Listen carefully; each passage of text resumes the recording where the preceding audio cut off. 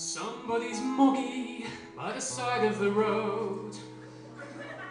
Somebody's moggy who forgot his highway code. Someone's favorite feline who ran clean out of luck. He ran into the road and tried to argue with a truck. Yesterday he purred and played in his pussy paradise, decapitating Tweety birds and masticating mice. Now he's just four pounds of raw mincemeat that doesn't smell very nice. He's nobody's moggy now. Now if you love your moggy, then be sure to keep him in.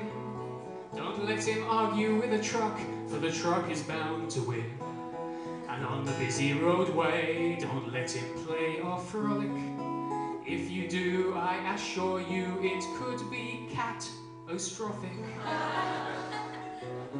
If you ignore my warnings, I'm afraid that will be that. There'll be one last despairing meow and a sort of squelchy splat. And your pussy will be slightly dead and very, very He's nobody's moggy, just squashed and red and soggy.